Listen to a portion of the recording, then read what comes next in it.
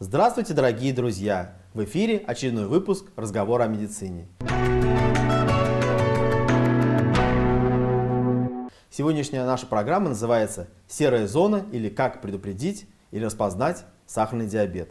Сегодня на студии Милюкова Галина Николаевна, главный специалист-эндокринолог Министерства здравоохранения Ульяновской области, заслуженный врач Российской Федерации. Спасибо. Очень Добрый приятно. день, уважаемые земляки. Рада приветствовать вас. Николаевна, ну мой первый вопрос такой, что, значит, вот э, каждый третий э, житель, э, каждый третий взрослый житель э, в мире, да, э, он э, рискует заболеть сахарным диабетом. Так утверждают специалисты. А почему так происходит? Э, каковы причины этого? Давайте об этом вот начнем разговор. Ну, действительно, вы совершенно правы. Количество пациентов с сахарным диабетом, причем речь мы в основном ведем о сахарном диабете второго типа, который занимает 95% от общей популяции пациентов с сахарным диабетом. А, Действительно, во всем мире количество пациентов увеличивается. Ну и традиционно считается, что основными причинами являются это неправильное питание, большое количество рафинированных углеводов в пище, а, малоподвижный образ жизни, а, вредные привычки, ну и масса стрессовых факторов. А, В основном все это приводит к тому, что развивается избыточный вес, ожирение, а, артериальная гипертензия, атеросклероз прогрессирует, который тоже становится все моложе и моложе. И все это в комплексе приводит к развитию диабета второго типа. То есть в целом идет нарушение обмена веществ, и как цепочка Совершенно, такой да, вы всё это. совершенно правы. Галина ну скажите, пожалуйста, вот э, какова заболеваемость, я знаю, что вы знаете, все это держите на контроле, А какова заболеваемость в Ульяновской области, и, может быть, по сравнению с другими регионами есть у вас статистика? А, Вы знаете, ну а, вот а, было, м, наверное, уже лет 5-6 назад хорошее российское исследование Nation, которое показало, что а, в а, России это было обследование не пациентов, а вот просто ну, вы- обследование населения. Вот кто попал. Да, Ну, срез такой, без да? всякого, да, без всякого отбора специального. И это показало, что более 5%, почти 6% населения имеет либо выявленный сахарный диабет, это где-то 3,5%, и 2,5% не знали о том, что у них есть сахарный диабет, но уже имели той или иной стадии нарушения углеводного обмена. То есть статистика такова. А, На сегодняшний день в Ульяновской области почти 50 тысяч пациентов, взрослых пациентов, больны сахарным диабетом. Причем вот мы с вами встречались несколько, ну, наверное, лет пять назад в этой же студии, и я тогда говорила, что у нас уже 40 тысяч. То есть вы видите, какими шагами, в какой прогрессии растет количество пациентов. Да, но тут, знаете, палка о двух концах. Выявляемость, да? Да. А, Плохо, что количество, э, количество сахарного диабета растет, но э, мы стали его лучше и раньше выявлять, а это хорошо, потому что чем раньше мы выявим сахарный диабет, чем раньше этот пациент попадает в поле зрения медицины, начинает получать терапию, тем э, ниже риск развития тяжелых сосудистых осложнений, которые, которыми диабет, собственно говоря, и опасен. Галина а вот на самом деле, вы, можно так сказать с, полной уверенностью, что э, сахарный диабет помолодел? Вот, Да, несомненно. Э, Если, э, опять-таки, взять 15 лет назад сахарный диабет второго типа у э, детей вообще не выявлялся, то есть это была казуистика, то сейчас в России зарегистрировано уже, наверное, 600 больных моложе 18 лет, имеющих диабет второго типа. Вот. Такие детки есть и в Ульяновской области. Николаевна, ну давайте тогда э, следующий вопрос мой такой. Вот ш- что такое преддиабет? Вот само понятие, да, и насколько важно действительно вот поставить диагноз такой, если он есть такой диагноз, да, или состояние, и насколько важно вот своевременность этого состояния? Это э, вот э, в настоящее время это считается очень важным. Вот э, ну, несколько десятков лет назад, когда сахар у пациента был на грани нормального, там чуть выше 6, 7, и эм, к этому все относились ну, м, спокойно, то сейчас это говорит о том, вот начало, когда клинически у пациента начинается сахарный диабет, то уже установлено, что у него не функционирует полноценно 50% бета-клеток. То есть это в дебюте диабета. Если мы выявляем на стадии до диабета начальное нарушение углеводного обмена, что такое преддиабет? Когда э, чуть-чуть повышается сахар натощак. Даже может это быть не постоянно, а периодически. Когда он чуть-чуть, есть норма сахара крови через глюкозы крови через 2 часа после еды. Тоже чуть-чуть превышает. Когда на грани нормального или чуть превышает нормальный уровень, такой есть показатель гликированного гемоглобина. И это еще не говорит о диабете, это говорит вот о дебюте нарушения углеводного обмена, о дебюте, о преддиабете. Если пациента выявить на этой стадии, и если он на этой стадии начнет активно заниматься своим здоровьем, то он ну, или предотвратит, или отодвинет на очень пожилой возраст развития настоящего сахарного диабета. Галина Николаевна, ну это понятно, что, наверное, на первых этапах, наверное, жалобы будут минимальны, да? То есть, да, их вообще не будет. Вообще, может быть, их не быть. Поэтому не быть, уровень верно. сахара человека, как бы, только определив его, он узнает. Поэтому жалобы будут минимальны. Но все-таки, вот что должно насторожить? Ну, плюс к этому пусть и цифры тоже, да, сахар угу. в крови. Что должно помимо вот уровня сахара крови повышенного еще насторожить может пациента, чтобы он действительно обратился к эндокринологу или к терапевту, да? Обратиться звена? нужно к терапевту, потому угу. что, да, это удел терапевта, и терапевты знают, как диагностировать. И преддиабет, Э, в этом году официально приняты и зарегистрированы клинические рекомендации для первичного медицинского звена по диагностике и лечению преддиабета. То mm-hmm. есть это официально зарегистрированные в этом году клинические рекомендации, которыми терапевт руководствуется. Mm-hmm. Совершенно верно. Вот.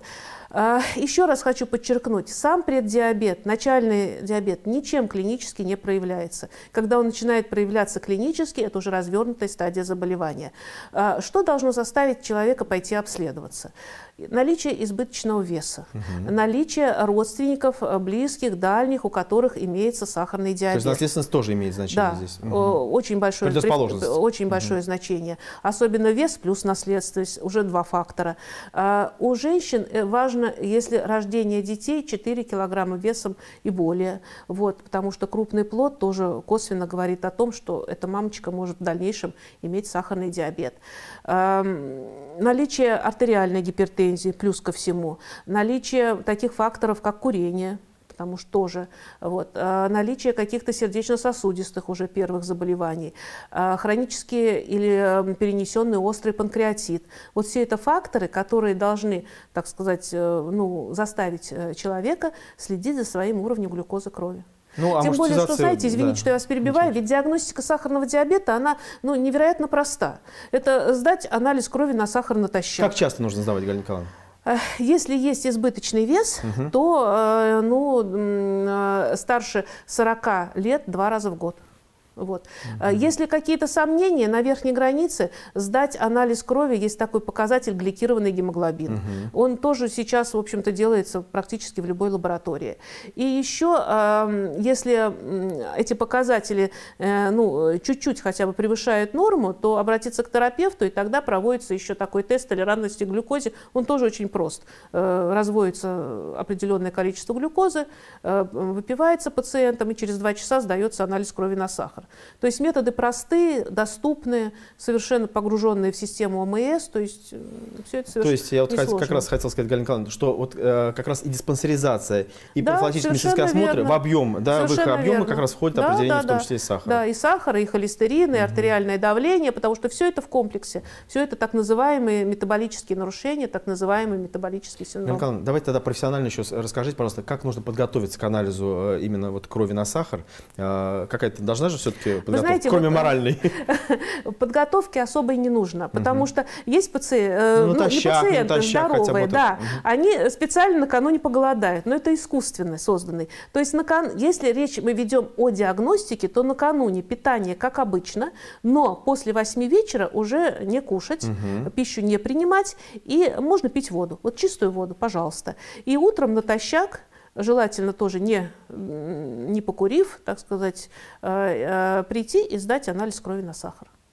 А вот, э, Галина Николаевна, преддиабет, он требует какого-то э, консервативного лечения? Все-таки вот лекарственные препараты, сахароснижающие, я имею в виду, они назначаются или нет? Да, вы знаете, сейчас метформин зарегистрирован для лечения, ну вот неправильно рекламировать медикаменты, пока это один. На пер... При преддиабете, конечно, на первом месте стоит модификация образа жизни. То есть пациент должен задуматься о том, хочет он иметь э, в дальнейшем диабет или не хочет. Если не хочет, то э, это опять-таки снижение массы тела, если она избыточная, контроль контроль артериального давления, перестроить свое питание, увеличить свои физические нагрузки, те, кому какие доступны. Для кого-то это ходьба, для кого-то велосипед, для кого-то плавание, для кого-то и бег. То есть кому что нравится, кому что можно. И э, уже на последнем месте вопрос о медикаментозной терапии. В некоторых случаях, да, она назначается и при, при преддиабете. Вот, э, Галина я точно знаю, что вот сахарный диабет, если впервые выявленный, да, даже ну, второго типа, скажем, да, вот э, он все равно требует, э, как правило, все-таки стационарного лечения, да? Нет, Или обследования? Нет, нет? Ну, нет, конечно. Не всегда. Я же говорю, угу. если вовремя выявленный второй тип диабета, вовремя выявленный, угу. то... Можно это, амбулаторно, да? Конечно, угу. это и можно, и нужно амбулаторно. Зачем там э, вот эти все рекомендации, о которых я говорила по образу жизни, плюс еще ну, один или два препарата, которые нужно принимать длительно, постоянно, правильно. Вот. И э, в этом случае госпитализация не требуется. Николай, вот сахарный диабет требует диспансерного наблюдения, да? Угу. А вот преддиабет, он тоже, да, требует угу. э, все-таки диспансерного наблюдения именно вот э, терапевта, да, э, участкового, э, то есть это врача первичного звена, да, тоже, тоже получается требует это состояние? А, обязательно. Угу. Пациент с сахарным диабетом обязательно требует дальнейшего диспансерного угу. наблюдения. Если это диабет выявленный, так сказать, как я вот говорю, в достаточно такой вот начальной форме, то наблюдается он у терапевта, с определенной периодичностью сдает анализы. Очень важно заниматься самоконтролем, то есть э, самому определять дома в домашних условиях. Мы вот, наверное, об этом с вами поговорим, угу. да, что существуют специальные средства самоконтроля, которые позволяют угу. вот, определять и которые и которые, в общем-то, если только его заболевание начинает прогрессировать, в таком случае он направляется к эндокринологу, который уже определяет, как дальше интенсифицировать терапию. Ну, Галина Николаевна, раз уж мы заикнулись, да, есть, э, ну, я телезрители от наших поступает очень много вопросов по поводу того, что есть очень много устройств, таких портативных, да, э, которые определяют уровень сахара в крови. Их очень большое многообразие. Угу. Поэтому вот как человеку разобраться с этим, да, насколько они, э, им можно доверять, давайте вот об этом тоже поговорим. А, доверять им можно и нужно. И вот те средства, называются они индивидуальные глюкометры, которые сейчас продаются, они все хорошего качества. Причем, надо сказать, и российские глюкометры, вот те, которые выпускают выпускаются сейчас, тоже достаточно точны и качество у них хорошее. Угу. Но никакой индивидуальный глюкометр, ни импортный, ни отечественный, не предназначен для выявления сахарного диабета. Вот где поставить диагноз нужно на стационарном э, глюкометре, который стоит в лабораториях, ну, так сказать, э, медицинских учреждений. А эти средства предназначены для контроля уровня глюкозы, контроля, так сказать, э, качества лечения диабета, степени компенсации. Вот. И все они, все они неплохие, пользоваться можно любым из тех, которые сейчас Николай, ну вот все-таки вот э, сам преддиабет, опять же, вот это состояние, э, все-таки это удел, э, ну так скажем, назовем это категорию людей сладкоежками, да, или это все-таки не так? Зависит от того, что вот употребление сладкого? Ну, знаете, тут такое, вот э, если э, не всегда употребление, вернее, э, не употребление сладкого, как именно как сладкого, является причиной сахарного диабета, а тем, что люди, которые э, едят много мучного и сладкого, как правило, имеют избыточный вес. Вот. И еще, если у таких людей есть предрасположенность к нарушению обмена, то получается что? Прием сладкого требует выброса большого количества инсулина. И у здорового человека поджелудочная железа с этим справляется легко. То есть в ответ на прием сладкого, сладкое очень быстро э, в виде глюкозы всасывается в кровь, и поджелудочная железа тут же мгновенно выбрасывает инсулин, чтобы с этой глюкозой справиться. Поэтому нет большого пика повышения глюкозы в крови. Если у пациента, э, у человека еще здорового есть предрасположенность к диабету или есть начальные какие-то изменения, то поджелудочная железа с вот, вот этой первой фазой справляется плохо. И э, она справится потом, но не сразу сразу. И вот этот вот э, быстрый выброс инсулина уже может быть не таким качественным.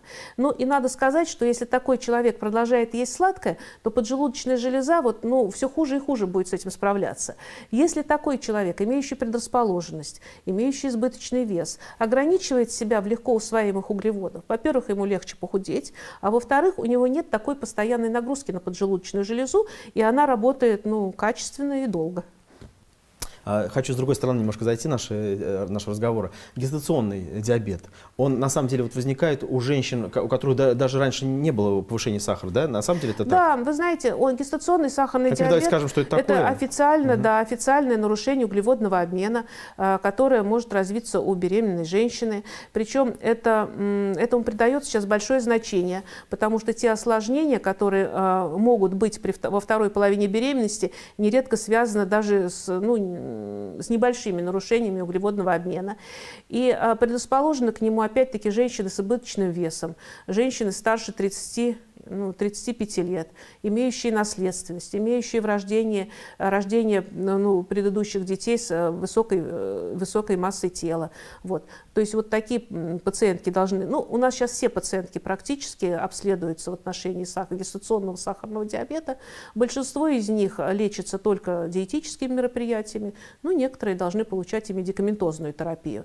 И таким женщинам нужно помнить, что если в дальнейшем, после рождения ребенка, все нормализуется, и, как правило, все нормализуется, но они будут иметь избыточный вес или ожирение, то риск в будущем развития сахарного диабета второго типа у них достаточно высокий. Николай, ну все-таки вот современные методы лечения сахарного диабета вообще сейчас какие-то есть? Э, или э, вот базово как-то все на том же уровне, или все-таки как-то движемся мы вперед?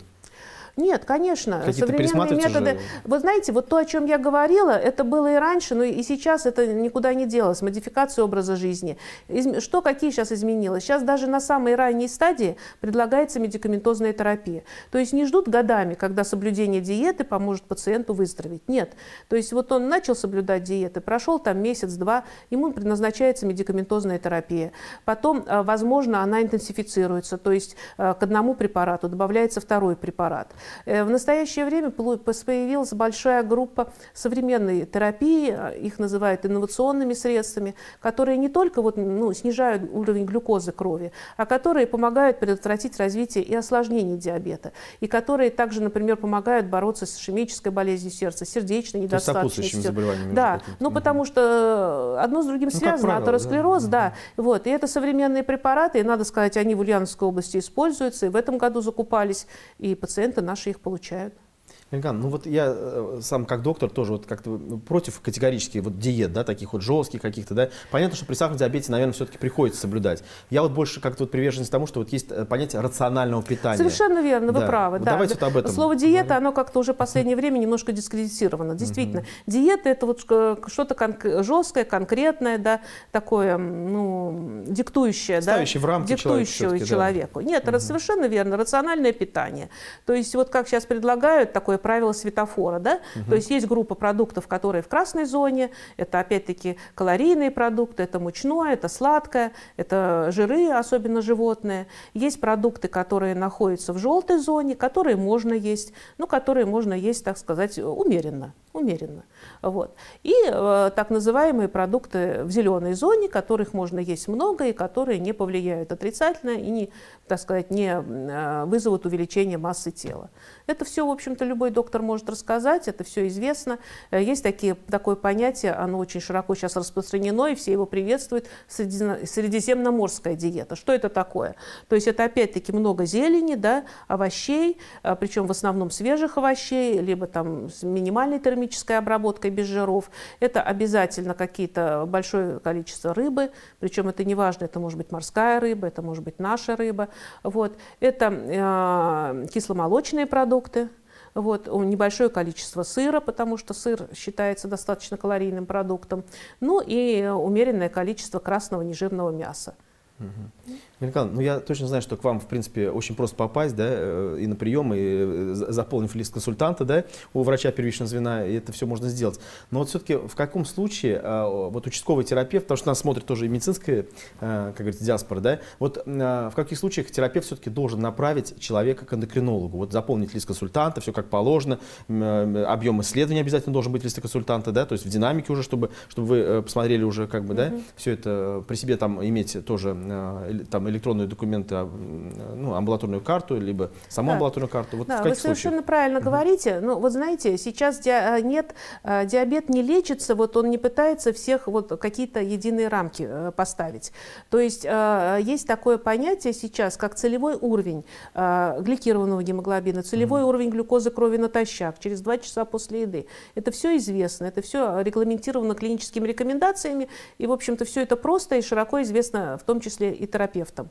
И когда пациент находится в рамках вот этих целевых э, показателей, то значит э, и пациент понимает, что у него все правильно, и доктор не беспокоится. Если пациент начинает выходить за рамки целевых значений, то терапевт должен модифицировать терапию, посмотреть, или с питанием что-то пациент, э, у пациента какие-то сложности, или, может быть, он по какой-то причине прекратил или изменил схему медикаментозной терапии. То есть вот все это, так, может быть, нужно к одному препарату добавить дополнительно второй препарат.